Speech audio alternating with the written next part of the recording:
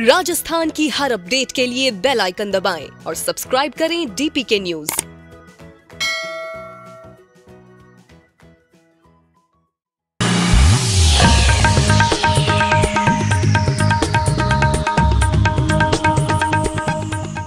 नमस्कार, खबर गाँव शहर बुलेटिन में आप सभी का स्वागत है। मैं आपके साथ हर्ष चौधरी।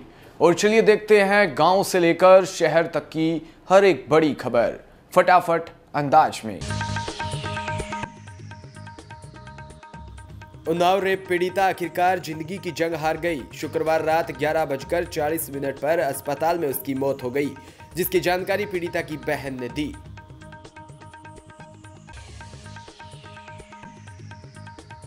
अस्पताल के बर्न और प्लास्टिक सर्जरी विभाग के एचओडी डॉक्टर शलभ कुमार ने पीड़िता के निधन की पुष्टि करते हुए कहा कि रात करीब ग्यारह बजकर दस मिनट पर पीड़िता का हत्या ने काम करना बंद कर दिया था। टोंक ज़िले के अलीगढ़ थाना इलाके के खेड़ली गाँव में छह वर्षीय मासूम छात्रा के साथ रेप के बाद निर्दयता पूर्वक उसकी हत्या करने के आरोपी महेंद्र मीणा और धोलिया को पाँच दिन की रिमांड अवधि समाप्त होने पर शुक्रवार को फिर उसे कोर्ट में पेश किया। कोर्ट ने आरोपी को 15 दिन के लिए जेल में भेज दिया। पुलिस ने आरोपी की महेंद्र मीणा को रिमांड अवधि समाप्त होने पर उसे पॉक्सो कोर्ट के स्पेशल जज मान सिंह चुंडावत के समक्ष पेश किया।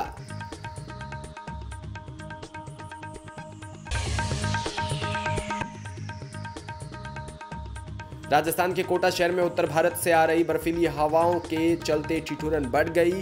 कड़ाके की ठंड से शहरवासियों में अब सीतम ढहाने लगी है।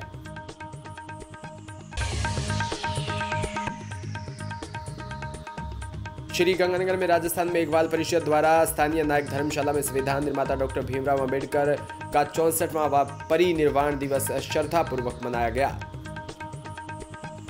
अलवर के नारायणपुर कस्बे में स्थित श्री कृष्ण शिक्षा व ग्रामीण विकास समिति द्वारा नेहरू युवा केंद्र अलवर के निर्देश अनुसार गठित जागृति युवा मंडल नारायणपुर के प्रथम वर्षगांठ के अवसर पर गुलाब देवी उच्च माध्यमिक विद्यालय द्वारा ग्राम पंचायत मुंडावरा में विभिन्न प्रतियोगिता का आयोजन करवाया।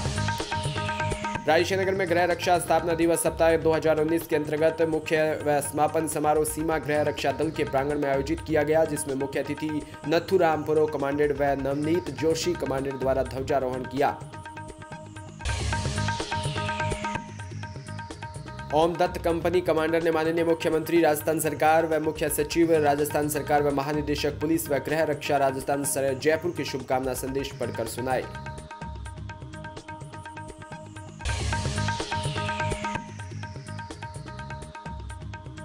नारायणपुर कस्बे के समयवर्ती ग्राम पंचायत कोलाहेड़ा में गुरुवार को युवा चौपाल का आयोजन किया गया।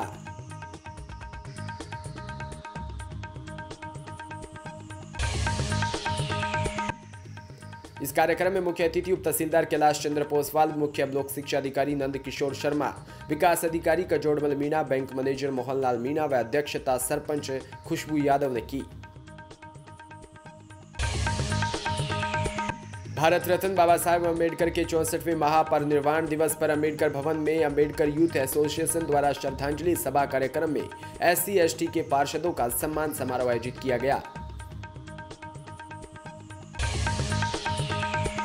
बीकानेर के कोलाय थाना क्षेत्र में आज दिल दहलाने वाली घटना सामने आई, जब एक युवक ने अपने बच्चे और पत्नी की गला घोटकर मौत के घाट उतार दिया और वहीं खुद फांसी के लटक गए। सूचना पर पुलिस मौके पर पहुँची, तीनों शवों को मोर्चरी में रखवाया। कोलाय क्षेत्र के भेलू गाँव में कल रात युवक द्वारा पत्नी व बच्चे को मौत के घाट उतारने के बाद खुद फांसी पर लटकने का मामला सामने आया, जिसमें कोलाय थानाधिकारी विकास बिश्नोई ने जानकारी देते हुए बताया कि भेलू गाँव निवासी हिमताराम झोपड़ी में अपनी पत्नी के साथ रह रहा था। हैदराबाद के चारों गैंगरेप आरोपी पुलिस की मुठभेड़ में मरने की खबर सुनकर रायशनगर के कस्बे व नागरिकों में शुक्रवार को मिठाई बांटकर खुशी ज़ाहिर की और हैदराबाद पुलिस की प्रशंसा की। जोधपुर के ओसिया ग्राम पंचायत भेरू सागर के नवनिर्मित पंचायत भवन के लोकार्पण समारोह आयोजित हुआ। मुख्य अतिथि ओसिया विधायक दिव्या मदेरना ने कहा कि परिवार की बदले की भावना से राजनीति करने की कोई पृष्ठभूमि नहीं रही। कार्यक्रम को कांग्रेस पार्टी के प्रदेश महासचिव लीला मदेरना पूर्व सरपंच लक्ष्मण सिंह भाटी, ग्राम सेवा सहकारी समिति जाटीपुरा के उपाध्यक्ष नारायण सिंह चौहान ने संबोधन किया। जोधपुर में अंबेडकर नवयुवक मंडल चेराई के तत्वाधान में आयोजित बाबा साहब डॉक्टर भीमराव अंबेडकर के तिरसठवें महापरिनिर्वाण दिवस पर युवाओं ने बाबा साहब की प्रतिमा पर पुष्प अर्पित कर श्रद्धांजलि दी।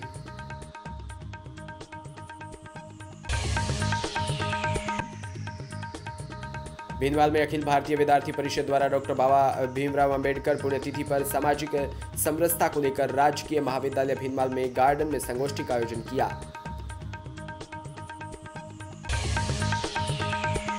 संगोष्ठी में मुख्य वक्ता के रूप में राष्ट्रीय स्वयं सेवक सेवक संघ के विभाग प्रचार प्रमुख अजय कुमार गुप्ता ने संबोधित करते हुए कहा कि सामाजिक समरसता का ठीक प्रकार से कार्यान्वित करना आज समाज व राष्ट्र की आवश्यकता है।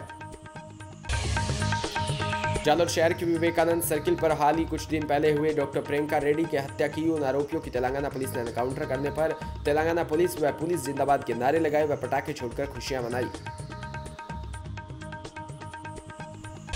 जैसलमेर के पोखरण में पंचायत समिति सांकड़ा सभागार में ब्लॉक स्तरीय जनसुनवाई शिविर का आयोजन किया गया। गौरतलब है कि राज्य सरकार व जिला कलेक्टर के निर्देश अनुसार माह के प्रथम गुरुवार को ब्लॉक स्तरीय जनसुनवाई शिविर का आयोजन किया जाता है।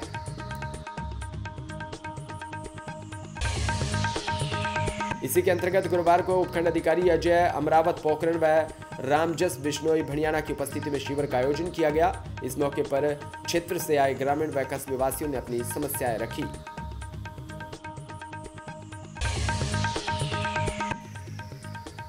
पोखरण के स्थानीय पुलिस थाने में अतिरिक्त जिला पुलिस अधीक्षक राकेश कुमार की अध्यक्षता में सामुदायिक संपर्क समूह व शांति समिति की बैठक आयोजित की गई।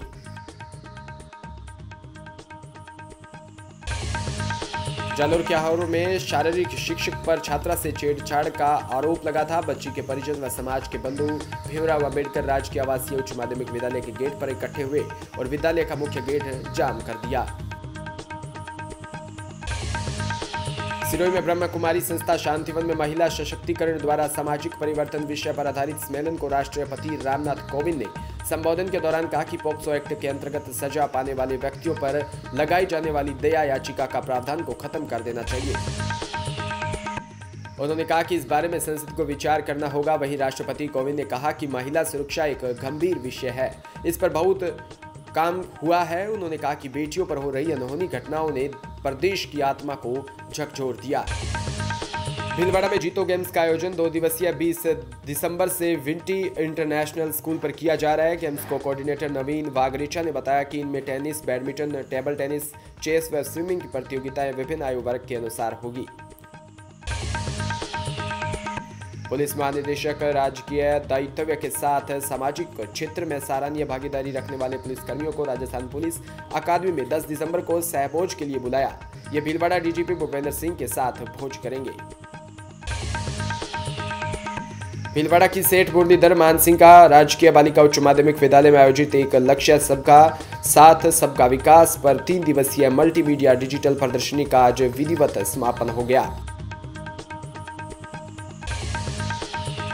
फ़िलहाल गाँव शहर बुलेटिन में इतना ही, और तमाम खबरों के लिए आप बने रहिए हमारे साथ। देखते रहिए डीपी के न्यूज़ नमस्कार।